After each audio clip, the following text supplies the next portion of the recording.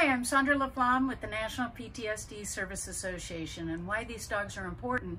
I can tell you personally, having had a traumatic brain injury when I was young, that this kind of therapy is 100% successful. The nice thing is the end result, it seems like a furry ball of fun. There's no pill, no nurse involved, and the whole process leads to a great partnership for a recipient and the dog.